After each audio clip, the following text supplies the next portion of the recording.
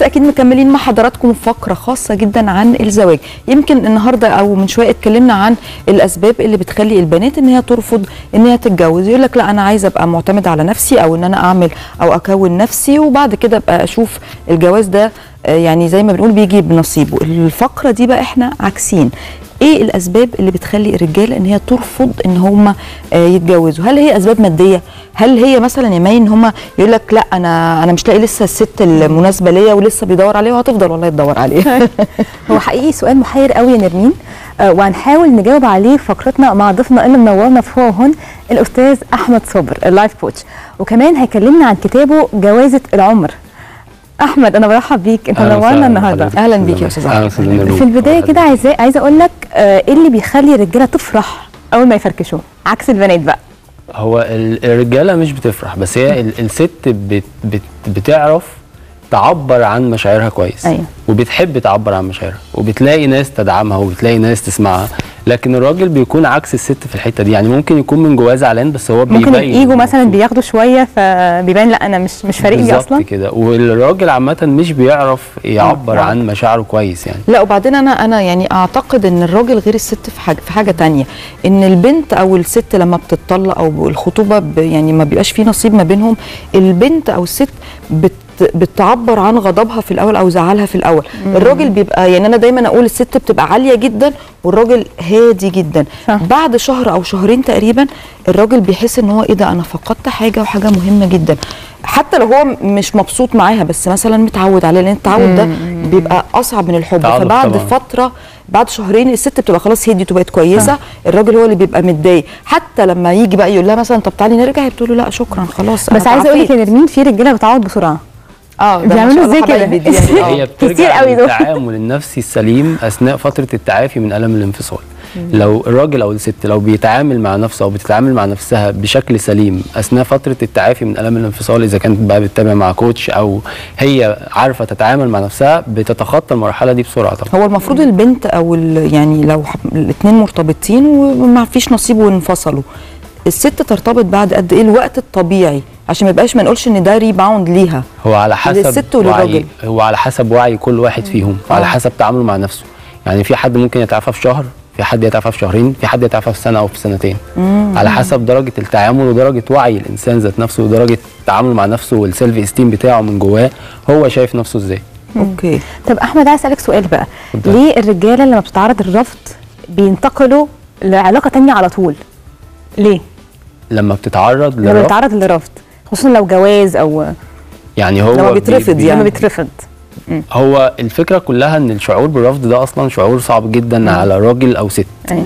تمام فالفكرة إن الراجل لما بيتعرض للرفض الموضوع بيقلب معاه بشخصنة شوية صح. يعني هي سابتني عشان أنا وحش طب أنا هرتبط بست بقى. ست. بالظبط كده. فهي الفكرة يعني معظم الرجالة بتعمل كده. حقيقي. وفي ناس تانية بقى ممكن آه، اللي هو يبقى شخصية هشة بعد الرفض يحس ان هو آه مش في عايز يدخل في. مود الاكتئاب فبيلحق نفسه. بالظبط. فعنده self-esteem بيقع تقديره لذاته بيقع فبيبتدي يخاف بقى انه ممكن يدخل في علاقة أصلا بعد كده. بسبب خوفه من الرفض بعد كده.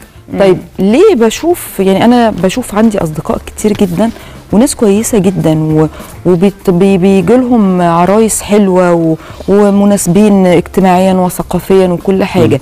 لكن هم رافضين الجواز رفض قاطع. يقول لك أنا مش هتجوز. طب ليه يا حبيبي مش هتتجوز؟ يقول لك لا لا أنا مش عايزة أتجوز. ليه؟ بيبقى ده راجع لإيه؟ دي حاجة اسمها جاموفوبيا. ده إيه بقى؟ دي؟ دي جاموفوبيا. جاموفوبيا. دي مأخوذة من كلمة جاموز آه كلمة يونانية معناها الجواز. okay. فهي فوبيا أو أو فوبيا الجواز بمعنى صح بيبقوا خايفين من المسؤولية مثلا؟ ده بقى بيترتب عليه هو شعور بالخوف. الشعور بالخوف ده ليه أنواع كتير. ممكن خوف من الألم okay. خوف من المسؤولية من تحمل المسؤولية خوف من ال ال الفشل في العلاقة خوف من الاختيار الخطأ. كل دي حاجات بتؤدي لخلي الشخص مش عارف أصلا أو مش قادر أو خايف يدخل العلاقة أو. ياخد العلاقة. أختارهم الشخص اللي عنده fear of commitment أو خوف من الالتزام لأن ده ساعات كتير جدا بيتحول لشخص مؤذي. ده أنا نرمين. ده أنا. أيوة، أنا الشخص ال toxic. اللي هو يدخل العلاقة لا بس ويكمل بالعكس ويعلق. لا أنت أنت يعني يمكن من شوية كنت بتكلم أنا ومي مع أنا ومروة مع مي. بنتكلم يعني إن هي ما شاء الله هي قمر وبنت ناس وكل حاجة بجد والله. يعني المواصفات كلها فيها حلوة وبتقدم لها ناس كويسة جدا. فبنقول لها مي أنت ليه ليه ليه رافضة الجواز؟ هي أنت عندك target أو أنت في أيوة. عندك حاجة عايزة تعمليها عايزة تحققي نفسك في في يعني في شغلك في مجال أيوة. عملك عايزة تبقي وليه حاجة الاثنين ما يمشوش مع بعض ممكن يمشوا مع بعض بس لو الشخص اللي قدامك ده أصلا لا أنا أنا اعتقادي أو تحليلي يعني المي أنا طبعا مش life coach ولا أي حاجة بس أنا تحليلي المي هو لسه ما جاش الشخص ال- ال- اللي. خطفها صح. لا هي هي خطفه هي بتيجي خطفه هو- هي هو ما جالهاش ال- الشخص إحنا ده بس. عايزين بصي ال- المشاعر في العلاقة أصلا جزء من العلاقة مش أكيد. هي أساس اختيار شريك الحياة طبعا. أنا بختار المناسب ليه ولا بختار الكويس ولا بختار اللي بحبه. لأن ساعات كتير جدا بكون بحب الشخص بس هو مش مناسب ليه حقيقي وساعات كتير جدا الشخص ده أنا شايفاه كويس بس هو برده مش مناسب ليا. فمش معنى إن أنا رفضته برده إن هو وحش. هو وحش. لا بس إحنا اتنين مش مش مناسبين مع بعض خالص. يعني. بالظبط كده. هي الفكرة كلها بترجع للسبب. في فرق بين السبب والحقيقة. دايما كده معظمنا عنده سبب يوريه للناس وحقيقة في هو آه، بيخفيها أو آه، مش في مدركها سبب خفي جواه أنا دلوقتي لو جبت آه سلك كهرباء وقلت لك السلك ده ما فيهوش كهرباء. امسكيه. فمسكتيه. فكهربتي. فخفتي. مش هيبقى فجه عندي ثقة واحد تاني. آه جه واحد تاني آه قال لك السلك ده ما فيهوش كان كهرباء. صادق بقى. قال لك السلك ده ما فيهوش كهرباء. آه. هتمسكيه ولا لأ؟ لا. ليه؟ عشان خلاص عندي bad history عندي في في عندي يعني خلاص ما عنديش ثقة. ما عنديش ثقة ده في السبب آه. مش الحقيقة. الحقيقة إنك خايفة من الألم بتاع الكهرباء. آه. مش بسبب إنك ما بقاش عندك ثقة. ففي فرق كبير جدا بين ان إن السبب اللي أنا بقوله للناس والحقيقة اللي أنا بخفيها جوايا ما بقولهاش لحد. فالشخص مثلا اللي عنده fear of commitment أو خوف من الالتزام عمره ما هيجي يقول لك أنا عندي خوف من الالتزام. هيقول لك أنا سبتها عشان هي فيها ال- ال- الطبع بيطلع الفلاني بتعمل أي السلوك. الفلاني. فيبتدي كل الناس اللي بيرتبط بيهم بيسيبهم بسبب أسباب مختلفة كتير جدا بس مش هو ده الحقيقة. الحقيقة إن هو عنده خوف من الالتزام. في عقله بيطلع له أسباب الأسباب دي هو بياخد بيها فبيهرب من العلاقه أوكي أو ممكن برضه بيشوف علاقات فاشلة كتير قوي حواليه فبيبتدي إيه بقى؟ يعني يطلع من الموضوع. في شخصيه آه. أنا متكلم عليها في كتاب جوازة العمر اسمها شخصية أبو العريف. آه. الشخص ده بيبقى عنده فوبيا برضو من الدخول في علاقات. الشخص اللي بيبقى قاعد عارف نفسه أو فاهم نفسه اللي هو عارف كل حاجة عمال يحل في مشاكل الناس عمال يسمع في مشاكل كتير وعمال يحل في مشاكل زوجية. وهو بيعمل مصايب. إن الشخص ده بيعمل مصايب وفي نفس الوقت هو عقله بيتأثر بكل المشاكل دي. فمن غير إدراك هو بيجيله مع الوقت فوبيا من العلاقات لأنه فاكر فيلم. البحث عن فضيحة الفنان الله يديله الصحة يعني الفنان عادل إمام آه. والفنان الراحل سمير, صبري, صبري،. كان يقول لك أنا حد مش عارفة من إيه صحابي كان يعني هو عامل نفسه عارف كل حاجة وفي الآخر هو اتدبس تدبيسة ما يعلم بيها الا بالظبط. ربنا كده. يعني. بالظبط. هي الفكرة في كده. الفكرة بس إن لازم بقى ال- العلاج بتاع الموضوع ده إن أنا لازم أحدد خوفي الأول. لازم أعرف أنا خايف من إيه وأكون صريح جدا مع نفسي. أنا خايف من الالتزام ولا خايف من الألم؟ لو خايف من الألم يبقى عندي مشكلة كبيرة جدا في إن أنا ما تعافتش من العلاقة الأولانية. وخايف أدخل علاقة تانية فاحس بنفس الألم ده. فبالتالي بحس إن أنا مش عايز أدخل علاقة بدون سبب. أيوه. بس أنا جوايا أنا خايف من الألم فتعافى من ال- العلاقة. لو خايف من ال... الاختيار الغلط بتعلم كويس إزاي أختار صح. لو خايف من الفشل بتعلم كويس إزاي أبقى ناضج عاطفيا وازاي اتعامل في العلاقة بشكل صح عشان العلاقة بتاعتي ما تفشلش. عايزاك تقول لي إيه الاختلاف ما بين رفض الرجالة والستات؟ ليه الستات بقى بيرفضوا؟ هو معظم الستات بيكون زي ما قلت لك عندهم خوف من الألم. في ستات برضو بتبقى عندها خوف من الالتزام وفي ستات بيبقى عندها خوف من العلاقات ذات نفسها. لو هي عندها مشاكل في التربية مثلا باباها ومامتها كان عندهم مشاكل في العلاقة بتاعتهم. باباها بيضرب مامتها كتير فكل ده بيكون تشوه معرفي. يعني كل اللي إحنا قلناه ده اسمه تشوه معرفي في ال- في العلاج المعرفي السلوكي. تشوه معرفي ده هو عبارة عن مجموعة معتقدات في عقلي الباطن أنا بمشي بيها وأنا مش مدرك أصلا إن المعتقدات دي هي اللي مودياني في الطريق اللي أنا ماشي فيه ده. أيوه. طب مش حاسس إن الست بقت مستقلة أكتر فالموضوع ده زاد؟ هو طبعا فكره فكرة ال- ال social media وفكرة المقارنات وفكرة موضوع الاستقلال زي ما حضرتك بتقولي إن أنت عايزة تحققي ال career بتاعك الأول مع إن ممكن الاثنين يمشوا مع بعض لو أنت اخترتي صح. صح. فهي الفكرة كلها في الأول وفي الآخر مش إن أنا أكون مستقلة. على قد ما أكون أنا بعرف اختار لا وملهاش علاقة أعتقد برضو بالاستقلالية لأن مهما كان يعني أنا مثلا أنا آه، سيدة مش أنا يعني ك women عموما أي ست آه، مثلا معاها فلوس أو بتصرف على نفسها أو بتشتغل صدقوني الست دايما بتحتاج للراجل والراجل دايما.